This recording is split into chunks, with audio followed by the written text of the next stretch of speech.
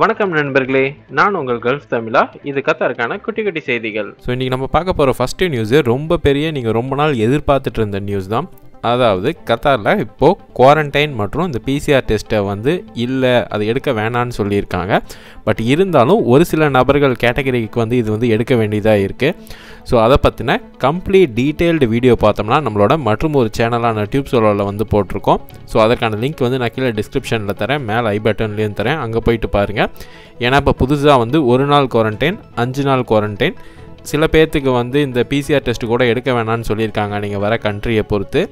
And வந்து இப்போது அந்த கண்ட்ரி லிஸ்ட்லேயும் வந்து ரெட் லிஸ்ட் கண்ட்ரி இன்னொன்று ஜென்ரல் லிஸ்ட் கண்ட்ரின்னு சொல்லிட்டு ரெண்டாக மாற்றிருக்காங்க ஸோ இந்த மாதிரி வந்து என்டையராக வந்து அவங்களோட ட்ராவல் பாலிசி மாறி இருக்குது அதனால் மறக்காமல் போயிட்டு அந்த வீடியோவை பாருங்கள் ஸோ அடுத்ததாக இன்னொரு முக்கியமான விஷயம் இதில் பற்றி என்ன இருக்குன்னா எத்ராஸ் ட்ராவல் பாலிசி படி இனிமேல் வந்து நீங்கள் வெளிநாட்டில் ஊசி போட்டிருந்தாலும் சரி கத்தாரில் ஊசி போட்டிருந்தாலும் சரி அதற்கான சர்டிஃபிகேட்டை வந்து நீங்கள் சப்மிட் பண்ணீங்க அப்படின்னா ஒரே ஒரு நாளுக்குள்ளேயே வந்து உங்களுக்கு ஃபுல்லி வேக்சினேட்டடுக்கான அந்த கோல்டன் ஃப்ரேம் வந்து இப்போ வந்துடும் சொல்லிட்டு அஃபிஷியலாக அனௌன்ஸ் பண்ணியிருக்காங்க அண்ட் இந்த ஓவராலாக இந்த ட்ராவல் பாலிசியாக இருக்கட்டும் இந்த எத்ராஸ் பாலிசியாக இருக்கட்டும் எல்லாமே என்னிலேருந்து அமலுக்கு வருதுன்னு பார்த்தோம்னா இருபத்தி எட்டாம் தேதி ஆகிய நாளைக்கு இரவு ஏழு மணிலேருந்து வந்து இது இம்ப்ளிமெண்ட் ஆகும்னு சொல்லியிருக்காங்க.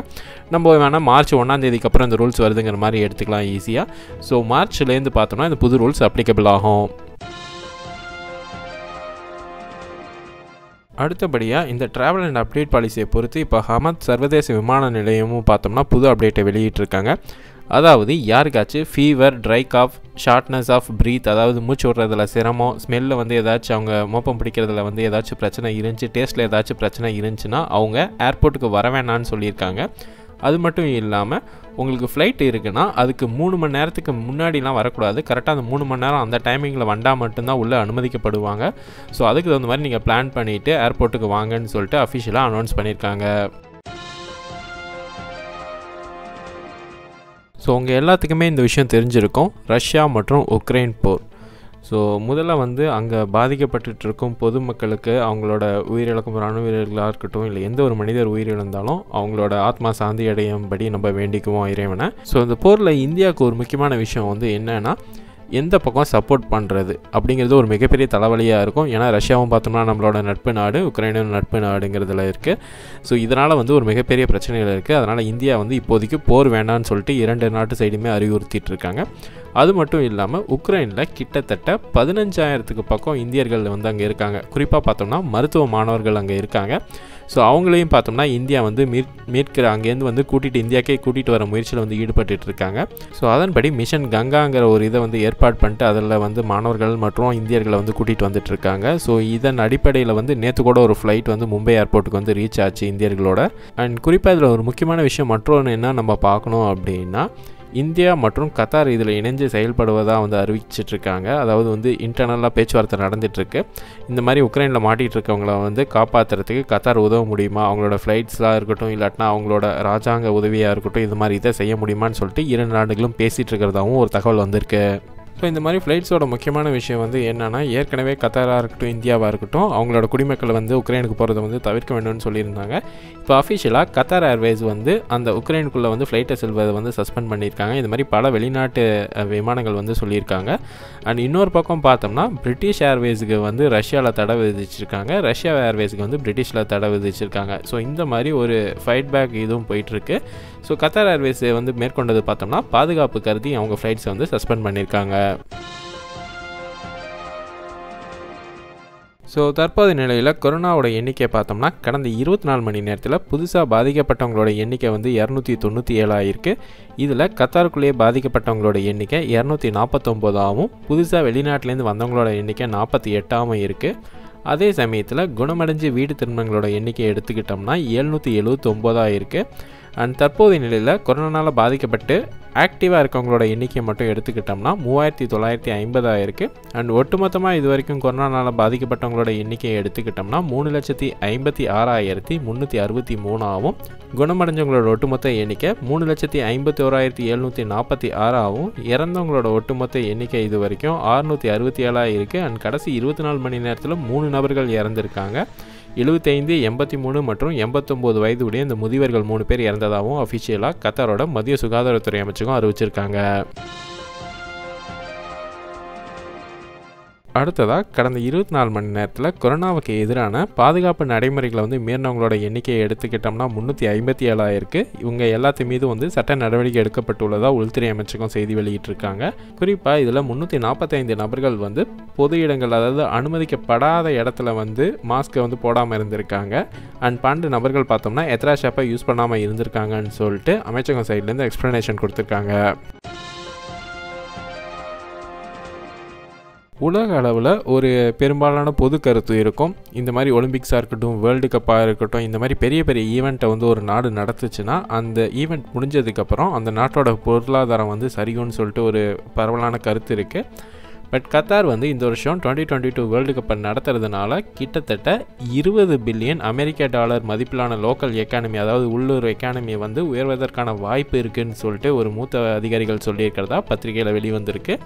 அண்ட் குறிப்பாக பார்த்தோம்னா இது வந்து கத்தார் மட்டும் இல்லாமல் பக்கத்தில் இருக்க அரபு நாடுகள்லையும் பார்த்தோம்னா அவங்களோட எக்கானமியும் வந்து வளர்க்குறதுக்கான வாய்ப்பு இருக்குது எப்படின்னு கேட்டிங்கன்னா இப்போ துபாய் வந்து ரொம்பவே வந்து ஒரு பார்ட்டி ஏரியா மாதிரி நம்ம சொல்லிக்கலாம். பக்கத்தில் இருக்க பக்ரைனும் அதே மாதிரி தான். ஸோ இந்த மாதிரி இடத்துல வந்து பொதுமக்கள் வந்து ஈஸியாக தங்கிட்டு அங்கேருந்து மேட்ச் பார்க்குறதுக்கு மட்டும் வந்துட்டு போகிறதுக்கான வாய்ப்பு இருக்குது ஏன்னா கத்தாரில் வந்து கொஞ்சம் ரெஸ்ட்ரிக்ஷன்லாம் இருக்கனால சில வெஸ்டர்ன்ஸ் கண்ட்ரிலேருந்து வரவங்க இந்த மாதிரியும் பிளான் பண்ணுவாங்க. ஸோ அங்கேயும் வந்து டூரிசம் வந்து இந்த கத்தாரில் நடக்கிற இதனால வந்து பூஸ்ட் ஆகும்னு சொல்லியும் அவங்க சொல்லியிருக்காங்க. உலக அளவில் இந்த மாதிரி ஹாலிடேக்காக போகிறவங்களுக்கு இடையில் இருக்க அவங்க மத்தியில் பார்த்தோம்னா ஹாலிடோங்கிற வெப்சைட் வந்து ரொம்பவே பிரபலம். அவங்க வெளியிடுற கருத்து கணிப்பாக இருக்கட்டும் இல்லாட்டினா அவங்க வெளியிடுற எந்த ஒரு பட்டியலுக்குமே வந்து ஒரு மிகப்பெரிய மவுஸ் இருக்குன்னு சொல்லலாம். ஸோ அந்த மாதிரி இப்போது ஹாலிடோ வெளியிட்டிருக்க உலக அளவில் வந்து தனியாக பெண்கள் வந்து எங்கே சேஃபாக போயிட்டு வரதுக்கு வந்து நல்லா இருக்கும்னு பட்டியல் வெளியிட்டிருக்காங்க. அதில் தோஹா வந்து பதினஞ்சாவது சேஃபஸ்ட் கண்ட்ரியாக வந்து இடம் பிடிச்சிருக்கு. ஸோ இதில் பார்த்தோம்னா கிட்டத்தட்ட ஐம்பது கண்ட்ரிஸ் வந்து அதில் இடம் பெற்றிருக்கு. ஸோ அதுவும் குறிப்பாக இந்த பட்டியல் வந்து போஸ்ட் பேண்டமிக்னு சொல்லியிருக்காங்க. அதாவது வந்து இந்த கொரோனாலாம் வந்துட்டு ஹியூஜ் வேவ்லாம் தாண்டிட்டு இப்போ ஓரளவுக்கு செட்டில் ஆகிட்டு இருக்க எல்லா கண்ட்ரிலுமே இந்த டைமில் வந்து எது சேஃபஸ்ட் கண்ட்ரிங்கிற மாதிரி வந்து அவங்க பட்டியல் வெளியிட்டிருக்காங்க. அண்ட் இதில் ஒரு ஆச்சரியத்துக்குரிய விஷயம் வந்து என்னன்னு பார்த்தோம்னா கனடா நாட்டோட மான்டிரால் அதுதான் வந்து ஃபஸ்ட்டில் இருக்குது அண்ட் நம்மளோட ஸ்ரீலங்காவோட கொழும்பு வந்து கேபிட்டலான கொழும்பு வந்து செகண்ட் பிளேஸில் இருக்குது ஸ்லோவேனியாவோட லிஜு பிளிஜெனா அந்த இடம் வந்து இருக்குது இது வந்து எனக்கு சரியாக உச்சரிக்க தெரியல. அது வந்து ஸ்லோவேனியாவில் இருக்க இடம். ஸோ இதுதான் பார்த்தோம்னா ஃபஸ்ட்டு டாப் த்ரீயில் சேஃபஸ்ட் கண்ட்ரியில் வந்திருக்கு. ஸோ நம்ம சேனலில் யாராச்சும் கொழும்புலேருந்து பார்த்துட்டு இருந்தீங்கன்னா மறக்காமல் கீழே கமெண்ட்ஸில் சொல்லுங்கள் தோஹா மெட்ரோ மற்றும் ருசில் ட்ராம் வந்து இப்போ அவங்களோட இணைப்பு பேருந்துகளை வந்து ஒரு சில இணைப்பு பேருந்துகளை வந்து ஆரம்பிச்சிருக்காங்க புதுசாக ஸோ அதன்படி எம் நூற்றி எட்டு. ஸோ இந்த இது பார்த்தோம்னா அல்பீடா மற்றும் மிஸ்ரீப் ஸ்டேஷனுக்கு இடையில தான் வந்து போக போகுது. இதில் குறிப்பாக பார்த்தோம்னா Ezdan Al Rayyan Towers Banyan Tree Doha Square electronics Four Points by Sheraton Al Mana and Partners இந்த மாதிரி இடத்துலலாம் வந்து அது சுற்றிட்டு இருக்க போகுது. அடுத்ததாக எம் முந்நூற்றி பன்னெண்டு. இது பார்த்தோம்னா அல் அசிசியா அந்த ஸ்டேஷன்லேருந்து வந்து போக போகுது. ஸோ இது மெயினாக கவர் பண்ணுற ஏரியா பார்த்தோம்னா Nissan quick service Hitteen boys school Al Andalus school for boys Al Hawari cafeteria இந்த மாதிரி இடத்துலலாம் வந்து பெருசாக வந்து அது போயிட்டு வரப்போகுது. அதோட ஃப- இது வந்து நான் பிக்சர் வந்து இதில் ஸ்க்ரீனில் தெரியிற இடம் எல்லாமே கவர் பண்ண போகுது அது. அண்ட் இதற்கு முன்னாடி இயங்கிட்டு இருந்த எம் ஒன் டுவெண்ட்டி செவன் வந்து அதோட சர்வீசஸை மறுபடியும் ரிசியூம் பண்ணுதுன்னு சொல்லியிருக்காங்க. இவ்வளோ நாள் நிறுத்தி வச்சுட்டு இருந்தாங்க. இப்போ வந்து அதோட சர்வீசஸை ரிசியூம் பண்ணுன்னு அனௌன்ஸ் பண்ணியிருக்காங்க. இது வந்து பார்த்தோம்னா அல்வாக்ரா ஸ்டேஷன்லேருந்து போக போகுது. Doha British school Al Meera souq Al Wakra Al Wakra park இந்த மாதிரி மெயினான ஏரியாவை வந்து இது கவர் பண்ண போகுதுன்னு சொல்லிட்டு அனௌன்ஸ் பண்ணியிருக்காங்க. கடந்த ஒரு சில மாதத்தில் மட்டும் நம்ம ரெண்டு மூணு வாட்டி வந்து இந்த நியூஸை கேட்டிருப்போம். அது வந்து என்னென்னா ஹியூமன் டிராஃபிக்கிங் வெளிநாட்டிலேருந்து இங்கே வந்துட்டு திருப்பி வந்து போக முடியாதவங்கள வந்து அடிமை மாதிரி வச்சுக்கிட்டு வீட்டு வேலை வாங்குறது மற்றும் வந்து கவர்மெண்ட்டுக்கு தெரியாமல் விசா எக்ஸ்பைரி ஆனோன்னா அவங்கள வந்து வேலை செய்ய வச்சு அது மூலிமா காசு பார்க்குறது அவங்க வந்து மாட்டிக்கிட்ட நியூஸ் இந்த மாதிரி இதை வந்து நம்ம பார்த்துட்ருக்கோம். ஸோ இந்த மாதிரி யாராச்சும் வந்து நீங்கள் பாதிக்கப்பட்டிருக்கீங்க அப்படி இல்லாட்டினா உங்களுக்கு தெரிஞ்சவங்க பாதிக்கப்பட்டிருக்கீங்க அப்படின்னா நேரடியாக மினிஸ்ட்ரிக்கு கால் பண்ணுறதுக்காக செப்பரேட்டான ஒரு ஹாட்லைனை வந்து இப்போ கவர்மெண்ட் அனௌன்ஸ் பண்ணியிருக்காங்க.